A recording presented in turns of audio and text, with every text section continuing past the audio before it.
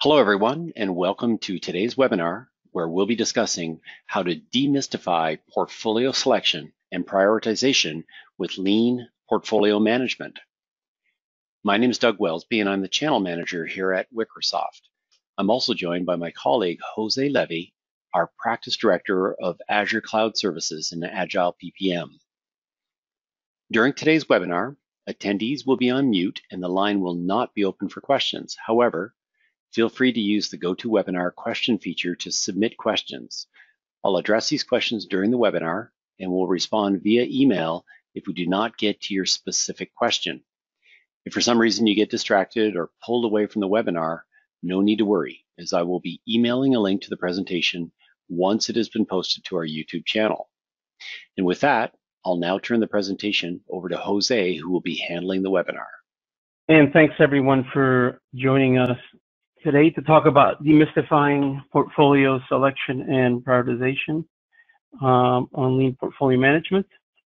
This is a continuation of uh, the webinars that we've been doing on lean portfolio management. We're one of the first organizations to um, have uh, offered the services for implementation and solutions on lean portfolio management after the um, launch of LPM by Scale Agile Inc. So we're going to continue our update on um, the lean portfolio management framework and our solution.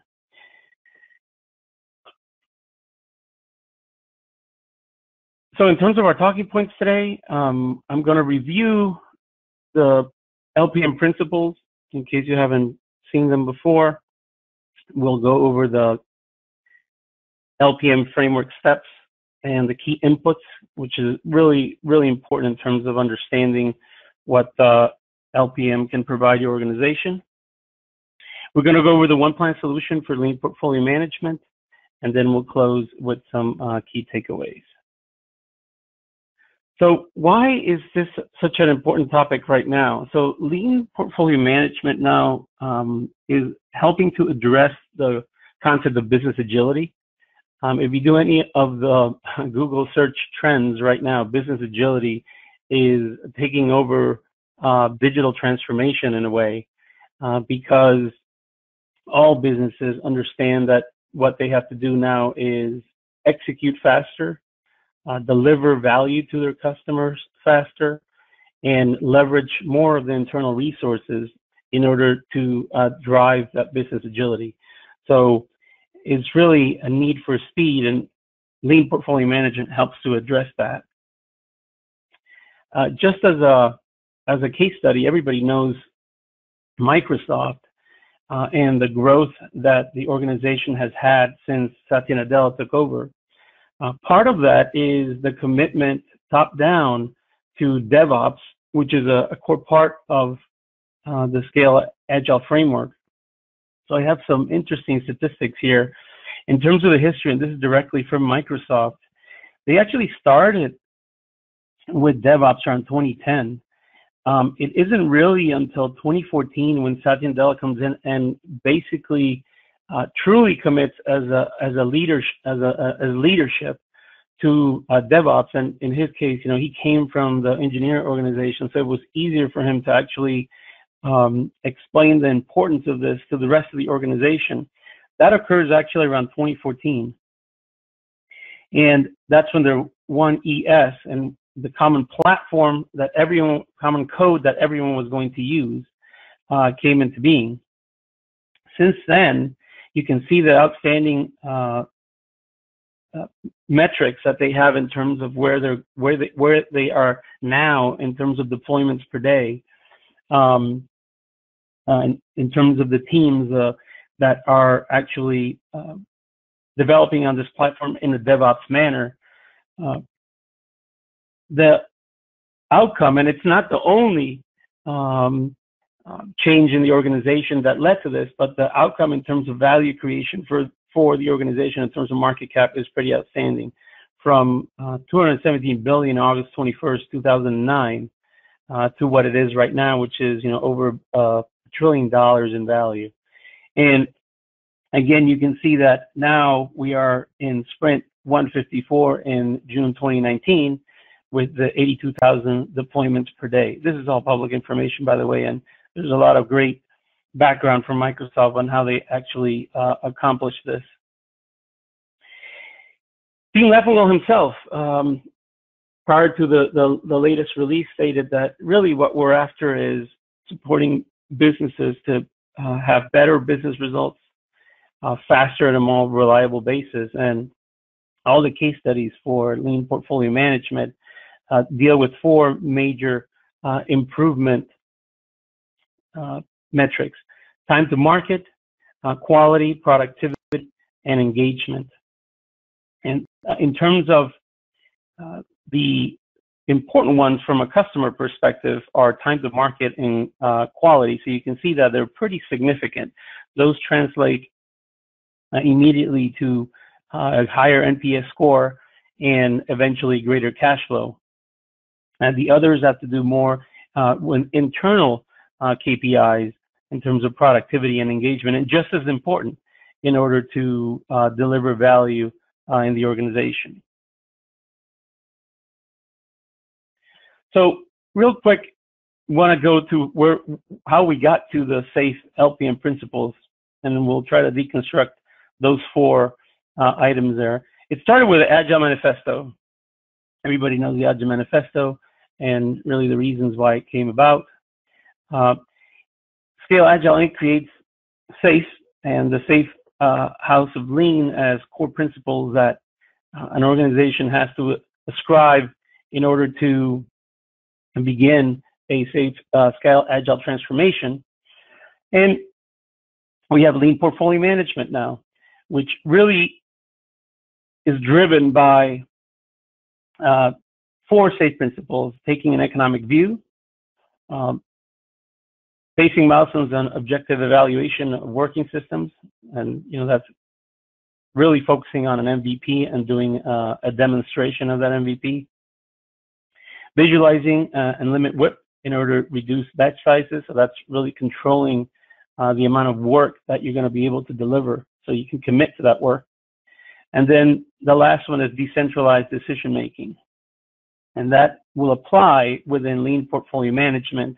Um, both top down and bottom up, uh, where we where we manage the portfolio Kanban, which we'll talk about in a second. So in the end, really, what we have to consider is that lean portfolio management really applies lean agile principles, and what we're trying to do is improve selection and prioritization of investments to deliver customer value. Now that seems kind of generic, but investments in this case are going to be our epics, um, how we deliver value to our customers in our product, and then um, customer value, again, driven by very specific metrics in terms of uh, either innovation accounting or KPIs that um, we are expecting from um, taking our Epic and putting it into our product.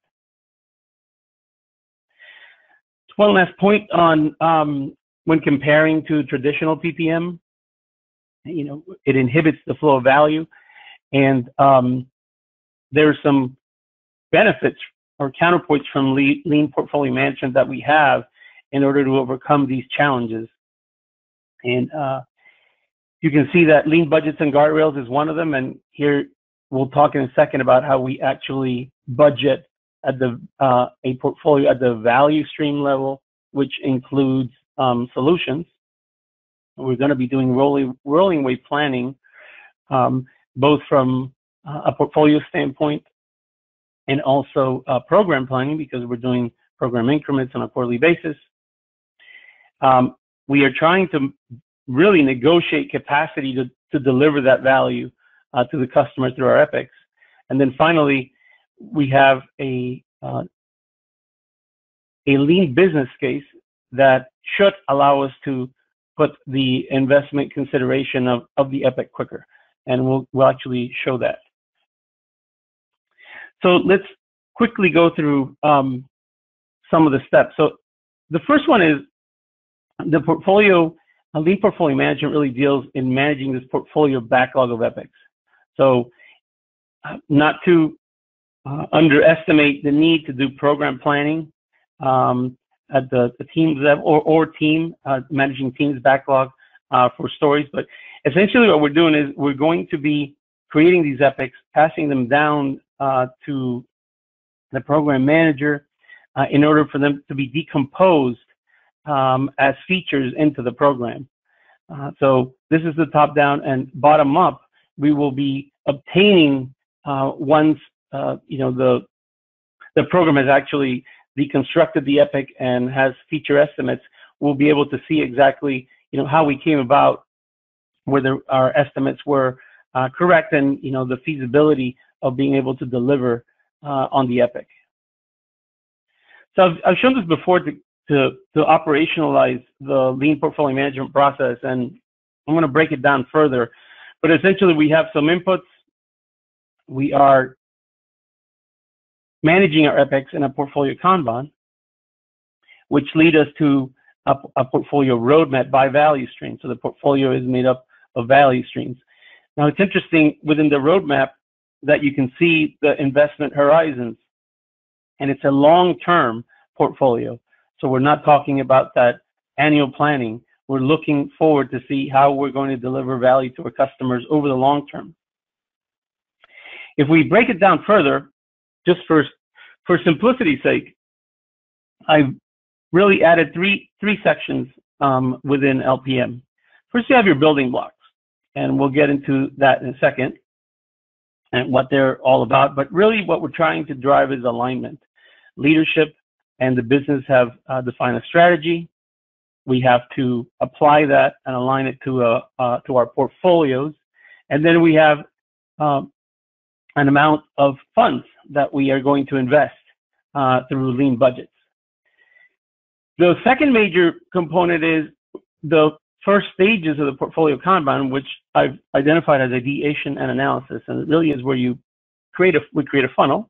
That's pretty straightforward in terms of actually creating a pipeline of work or demand. We put it through a review uh, bucket or phase, and then we get to analyzing, and uh, we'll see in a second, we'll talk more, but really this is where the go, no go decision is. So in terms of actually uh, moving an epic forward in the Kanban, it's within analyzing. So this is selection. Uh, when we get to the portfolio backlog is really where we're going to do the prioritization. Uh, not that we can't do it in analyzing, but it's primarily going to be doing, done in the uh, backlog because this is where we have our points estimate for our MVPs, and we, together with other criteria, by the way, it's not the only um, way of um, determining prioritization, but we're going to use um, here um, our MVP points um, and a score that we're going to derive from WSJF, which is all over weighted shortest job first. You see that we actually begin calculating this uh, shortest job first as early as reviewing, and we continue to use it through our portfolio backlog. And the rest of the, the phases is really about implementing, uh, and really at this point, we're taking that EPIC that is approved and prioritized, and we're uh, sending it to our EPIC owners um, in order for them to, and the teams to begin actually deconstructing that epic into um, its features and um, increments where they're going to be delivered. So let's go over the, these three phases real quick because it's important to understand the um, artifacts that we're going to be using. So the first one is pretty straightforward. Um, you know, most organizations have objectives uh, and key results, so we're trying to accomplish um, a business result, uh, and we're going to actually define what that is, that business result and have a metric. That's really important that we have a KPI and that key result. So in most organizations, whether implicitly or explicitly, there are strategic themes we can uh, extrapolate and complete. The second is the most important. It's really the portfolio canvas. So this is an adjusted business model canvas. And really, it's about uh, defining our value streams, which are comprised of our solutions. Now, if you're already doing SAFe at the program level, this is going to be pretty straightforward because um, you have already these defined as part of a SAFe transformation. If you have not, then this is a critical step. You really cannot move forward in implementing LPM without actually defining your value streams and your solutions.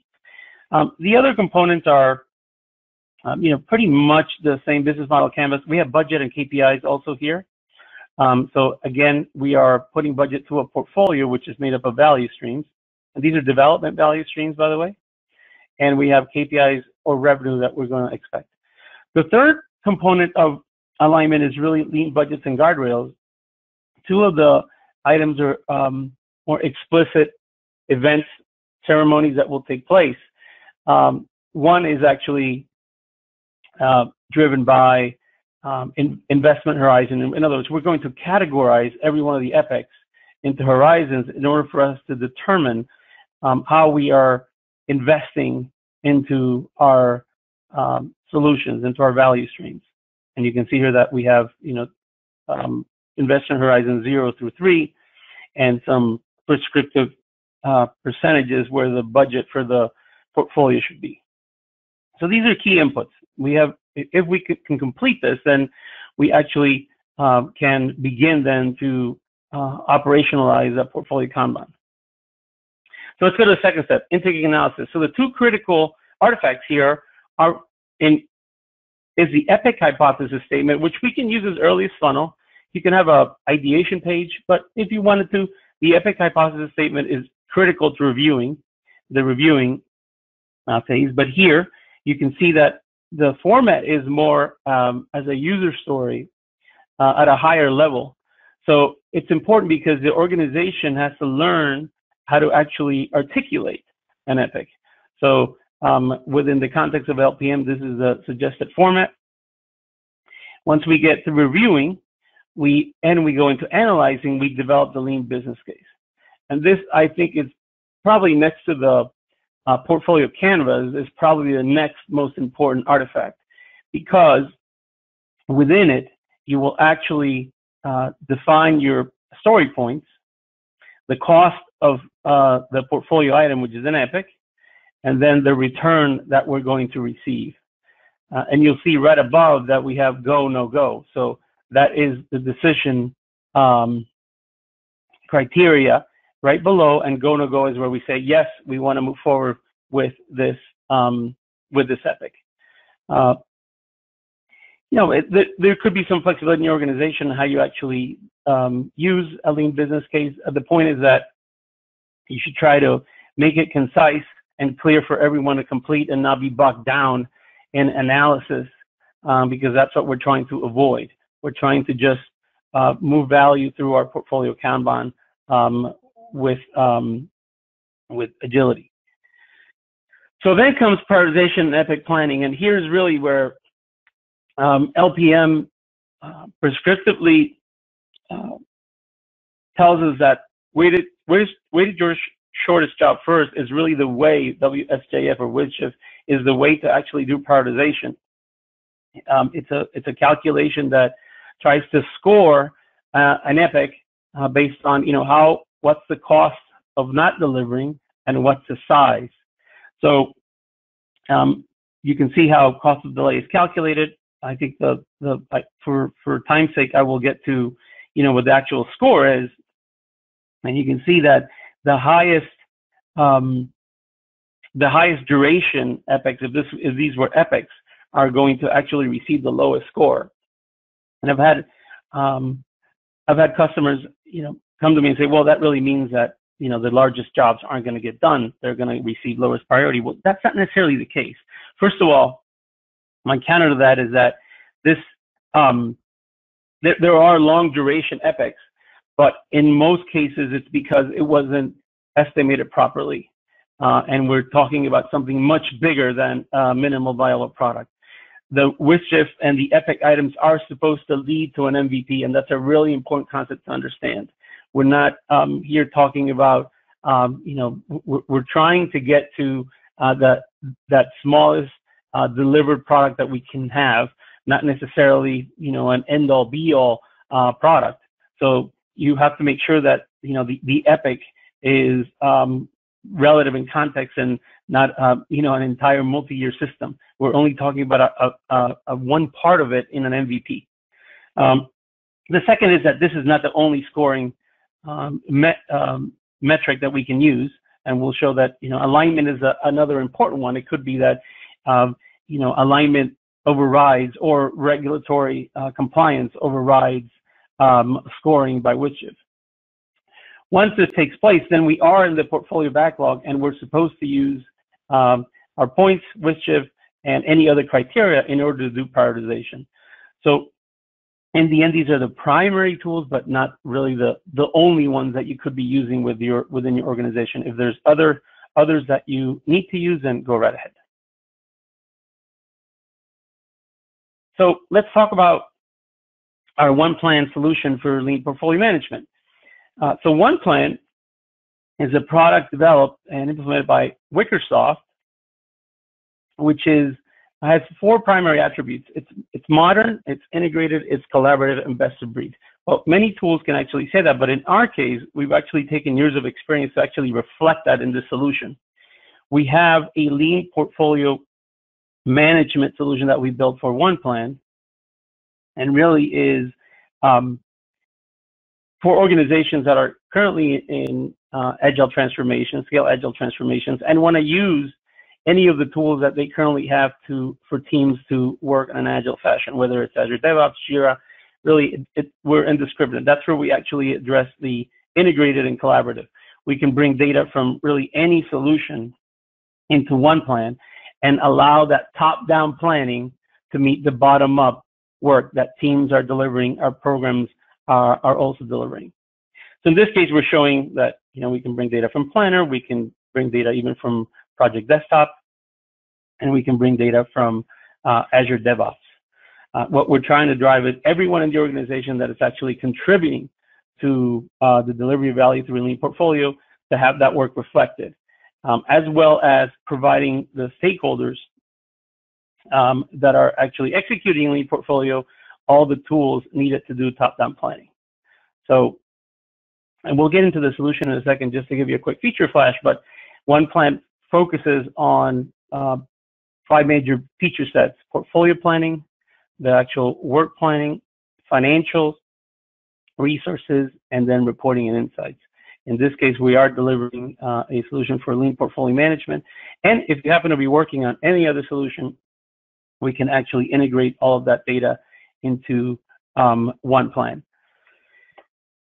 I think from uh, from uh, the most important I think part for, for a safe for the safe solution is that what we're trying to do is automate and operationalize lean portfolio within your organization. Yes, there might be variations. Yes, are culture, but in the end, we want to follow, uh, you know, the guidance for uh, achieving lean portfolio management and business agility. So now we're going to provide you with a overview of one plan for lean portfolio management. So I will switch screens here one second.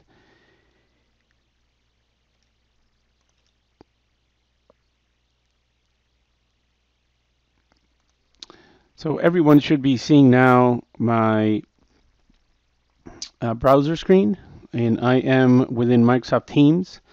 Now the reason we start in Teams, it is because um, Teams is the unified collaboration platform for Microsoft, and now we are embedding our one plan solution within Teams. Uh, so in this case, we have a lean PMO We've started with a um, SharePoint form that we've also integrated within the environment in order to show how we can capture ideas and also um, register uh, our portfolios and our, and our value streams for our lean portfolio. I'm not going to go into the details uh, of the solution. I just wanted to point out that if you happen to have a demand management process and forms, we can definitely uh, integrate that within the solution. If not, you can use the um,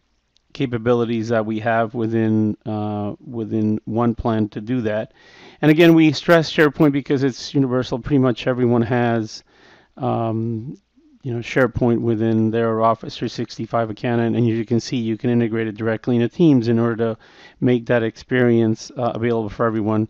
Uh, just uh, as I, I'm, I'm going to move away from it, but I just want to point out that you can see here that, you know, whatever uh, fields you want to capture and show within your forms, you'll be able to do that as part of your ideation process. Again, this is uh, the funnel uh, bucket within lean portfolio management that we're going to address with ideas. And again, it's within SharePoint. So, but you can see also at the top that I have all of my uh, areas of work, either applications um, or um, content areas within uh, within within teams for lean portfolio management. So in this case, I'm going to uh, hit portfolio which actually takes me directly into one plan. So this is one plan within Teams, and again, we're trying to drive collaboration.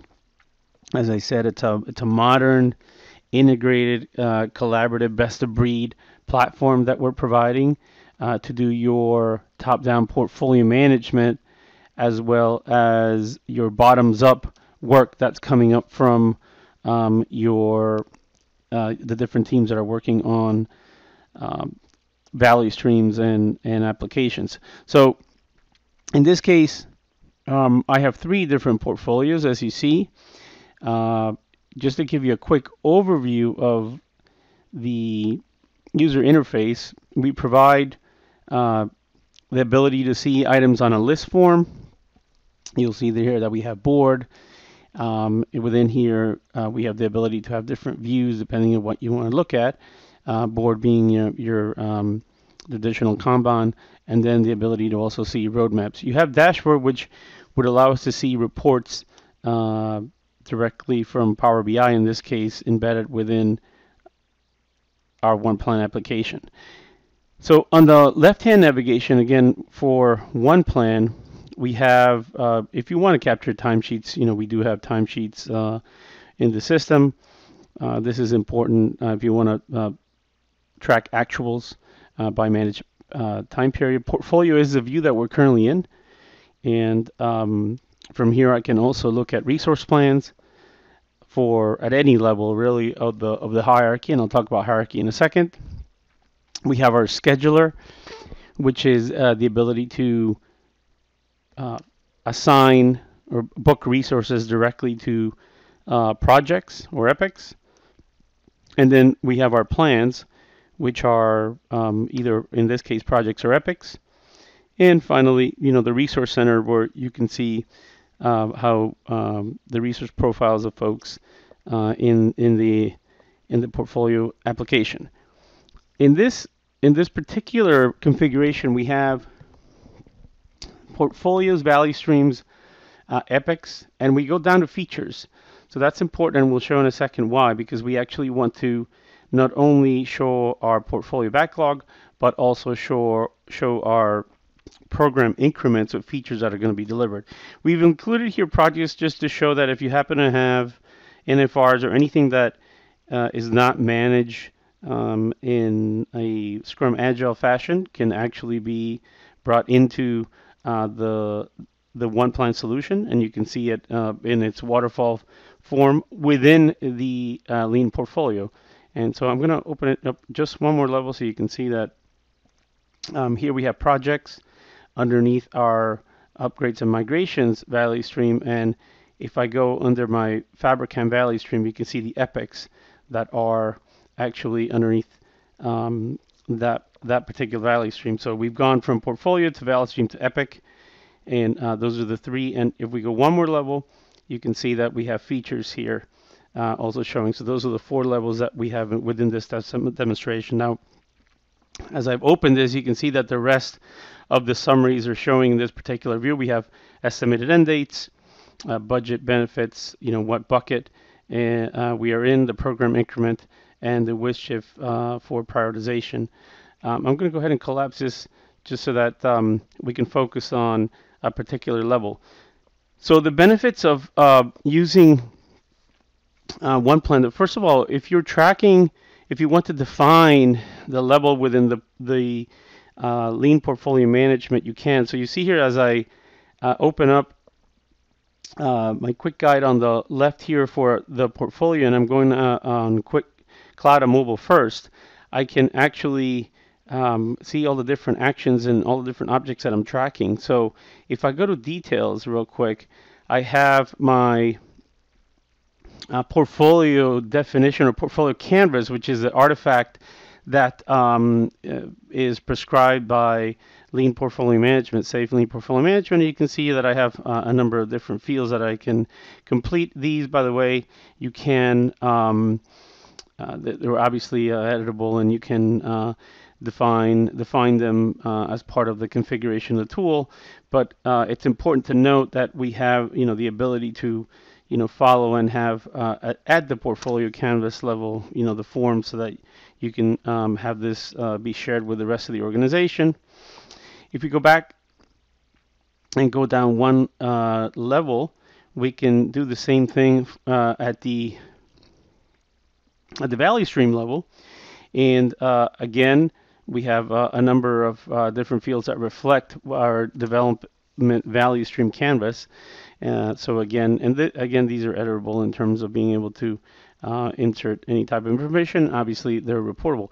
I, will note that if you wanted to actually do portfolio budgeting, you can also do that. And you see here that we have uh, the a budget for the actual value stream. So the value stream is going to be made up of the uh, budgets for the solutions. So you can actually define a value stream budget and uh, these um, cost categories and cost types are uh, editable. And you can see that we can also track budget forecast and actual so this is a very good uh, way of being disciplined about uh, tracking your portfolio budget. Um, if we go back to a portfolio we will go one level. We can go down then to our our epics and you can see here that this particular value stream portfolio has uh, a number of different epics and similarly uh, we have forms for our epic definition and the epic definition also follows the lean portfolio uh, uh, Kanban. So you can see here that we have uh, our this particular epic is in the implementing stage uh, we do have the ability at the EPIC level to define financials, resources, even a schedule and reporting. And um, as I showed before, uh, the lean business case now is shown because this is uh, the way that we are going to actually um, define our EPICs uh, within lean uh, portfolio management. And um, you can see here that we have th these initial uh, fields come from our what's called our epic hypothesis statement, which we define within funnel, and then we have uh, you know more uh, numeric and um, uh, objective criteria for defining whether we're going to uh, move forward with uh, the epic or not. In this case, we are already implementing, so we've actually gone from analyzing so the go to go go no go actually took place, and we're actually within within the implementing. Um, phase. If we go here within financials, we see that we have uh, a budget, and we, if we go within resources, we also have uh, resources that have been defined for the um, um, the epic. So we will use that later to do our prioritization. Uh, we can at any at any level if we want to just focus on that particular uh, level of the hierarchy. So you can see here that you know I just by going to plan type um, I can you know focus on that particular um, level. And um, I have Epic here, uh, but I could you know easily go to features, which are the features that we're going to focus on from um, our program increment. And um, let's let's uh, go back to our portfolio so we can uh, drill down and see um, what we can do. If we wanted to actually um, go to the epic level and do prioritization. And that was kind of a first exercise that we can do because OnePlan provides you with the prioritization features. So if I select prioritize here, I can um, start looking at what my WSJF uh, levels are. And you note that I have here um, um, the, the, the uh, levels that were defined when the epics were defined and uh, I can see that my uh, support uh, customer mobile is actually at a position of number seven within uh, our prioritization when it actually has a value of five and it actually has uh, some of the largest benefits uh, that we can provide, and is actually implementing. So I think what I what I'm going to do in this case is simply, you know, move it up um, uh, to a higher position so that the rest of the organization sees that it is uh, important to us. So I've gone through and done that prioritization. Uh, you know, the, the other exercise that I could do is um, actually see what the resource load is. So I'm going to uh, deselect uh, prioritization and go to my resource plans.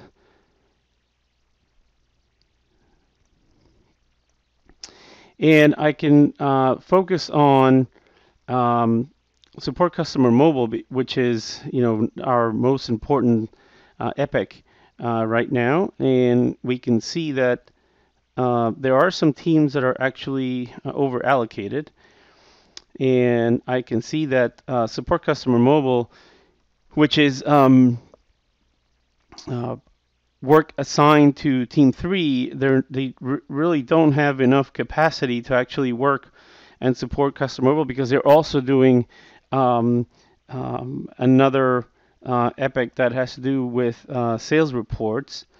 And I can't actually uh, get to uh, that particular uh, epic here. You can see that I have, um, it's an epic that is actually off track. Um, and it's still an analyzing, which um, you know it's still not actually implementation. So I think what I'm going to do for uh, sake of this exercise is take it off and see if I do that. I um, not only I relieve uh, the over allocation that I have on team three, so I can go ahead and um, deselect the epic and you know then save it as a scenario um, in order to uh, re- let the rest of the organization know that we're just going to hold off on our um, Epic for reviewing sales reports. Uh, it's off track um, and it's over. It's prov- it's creating an over allocation. So in order to meet, um, you know, the priority of my support customer uh, customers using mobile, I'm going to go ahead and, um, uh, you know, not not uh, execute um, my sales reporting epic that I have here defined. So that's one exercise that I can complete in order to remove that over allocation. The other that I could have done is add additional work. So I could go to my resource plans and then have another team participate. So we have team one here. Uh, it looks like, um, you know, uh, team two, for instance, now has capacity since we removed it from we re- removed the work also from the sales reporting epic, and now I can actually also assign them to it. So that would be another way of um, uh, providing more capacity to, to the Epic. So I'm going to go and also show, let's go ahead and click off. Um, we, we are at the Epic level, and if I wanted to actually see how all these epics um, are going to be reflected um, within my lean portfolio Kanban, I can go here. I've switched the board. Instead of portfolio, I'm going to be looking at epics. And I can see here that um, uh, epics in their uh, lean portfolio Kanban are being shown. And um, support customer mobile, which is right here, is the one that we're, we're most focused on. It's, it is an implementation. So, um, you know, if I wanted to actually look at, uh, here's all of its um, metadata that we were looking at in the form um, if I needed to edit any of that quickly. Um, we are in good shape in order to be able to uh, deliver um, all of the features that are within this epic. Um, and if we wanted to also look then from a program standpoint how um, the features for that epic look, here we can then go to our feature uh, backlog and these are the uh, five features that are currently in play for our support customers using mobile. Uh, so our program increments are shown, the summaries for budget are shown, and you can see that we have different metadata um, uh, for each of them. And we can go uh, back also if, I, if we wanted to and um, look at them um, in more detail if we wanted to by just going into feature and uh, likewise, as I uh, stated earlier, we would um, we have the ability to define, um, you know, uh, metadata for the feature. Now, at this level, we recommend that um, we work directly within um, Azure DevOps. So here, uh, if we go back um, and focus on the team specifically, so here we have our uh, support customer mobile team.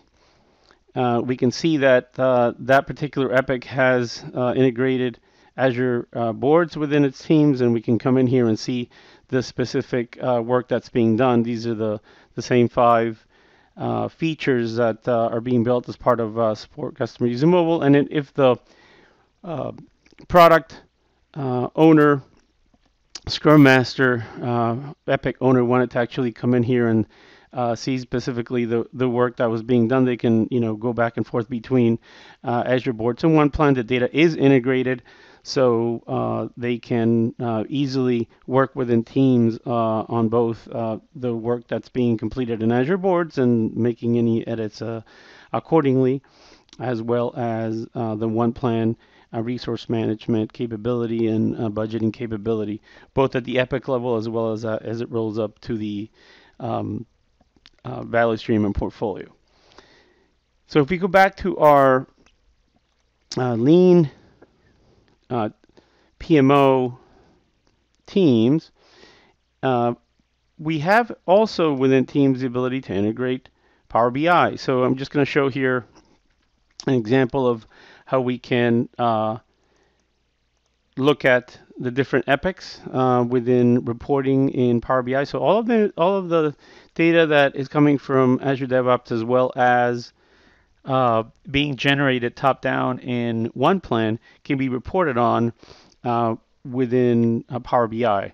So this is a content pack that we've developed specifically for the solution, and it's you know entirely um, editable and, and can be changed to meet your specific uh, reporting requirements we have here uh, on the bottom, you can see the tabs that are part of Power BI. We've used Power BI. You know, this is pretty standard in terms of having different tabs that reflect uh, views and dashboards that you're interested in. Here we have an Epic dashboard, our Fabrikam uh, Epic um, or, um, Fabrikam Value Stream is actually shown here with all of its epics underneath. If we actually wanted to uh, focus on one particular epic, uh, we can and you know bring in the data for support customer using mobile, which is the one that uh, we are most interested in. And um, again, any of the uh, summary attributes that are, are being tracked in either Azure DevOps and metrics that are being tracked in Azure DevOps and OnePlan can be reflected in a very simple Epic one pager like this. Uh, if we are looking at uh, resource information, we can look at resource plan versus capacity. In our case, we're looking at uh, team number three, and you can see that we're doing okay here in terms of uh, capacity and demand. They're pretty much going to be uh, uh, allocated entirely to our support customer mobile uh, Epic. So um, there's uh, that particular view from a resource standpoint. we have a number of different resource dashboards that are available. Uh, this one here, um, again, can we can drill into our team three, which is really the one that we're focused on, and see if um, you know during the period of time that we're going to be working on support customer mobile, we have the capacity. It seems like we do have capacity, so um, we're going to be in good shape. And you know, if you wanted to actually share reporting outside, uh, you know, you, this is also part of uh, you know Power BI, as I said, so you can access Power BI externally. And you can see here that uh, we have a dashboard that has uh, a more uh, summary uh, metrics on the entire lean portfolio. Uh, here we have ROI versus risk, but you can also view different uh, metrics. Our ROIs are showing here. If you wanted to actually track burn up and burn downs from Azure DevOps, you can bring those metrics here and uh, do that accordingly for for our particular you know epics and sprints. Um, issue count, uh, if you wanted to summarize that. Here's uh, our prioritization scores in Widget, which is our really the, the focus of our of our webinar. in terms of being able to use not only WSJF scores, but also any type of prioritization that you want to uh, perform uh, when you're actually defining your epics. Uh, you can do that and then you know have them reflected in, in reporting within uh, within the tool. Let's go back here. If you want to track issues and risks, those are also available, uh, and we can uh, report on them accordingly within uh, within our content packs.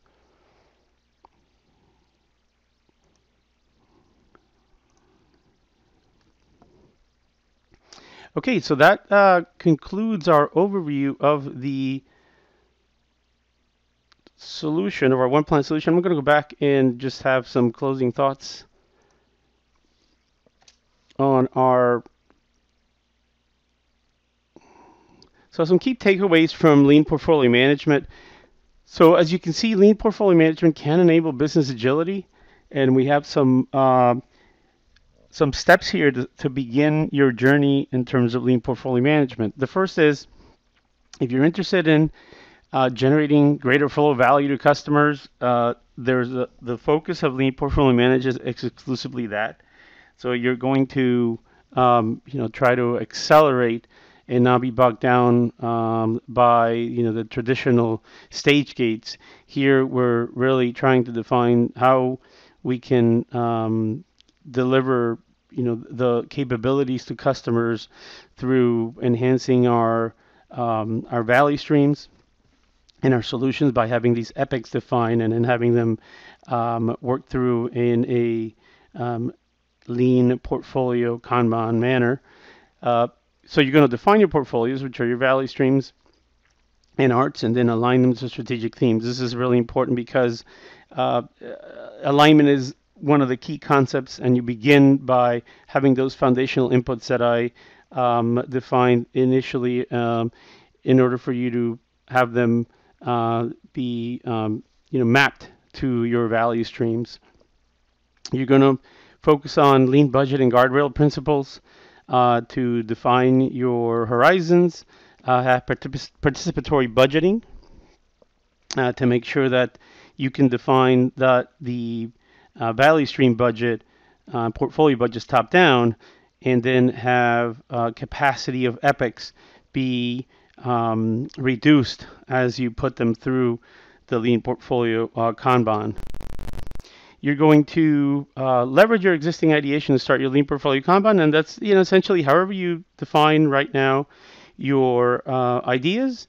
those are going to go into your funnel, and then you're going to go through and develop them uh, in the lean portfolio Kanban, you know, in the second step being reviewing with your epic hypothesis statement.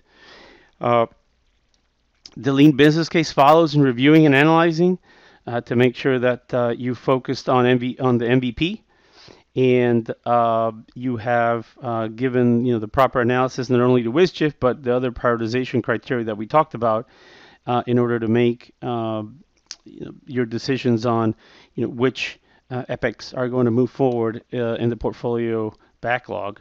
Uh, we've explained the we explained in the WSJF scoring uh, method, and uh, that will provide you you know uh, better planning and estimating of, your MVPs. It's really important that you focus on MVPs, which is that's really the you know, how we are going to define whether an epic is worthwhile moving forward in our in our framework.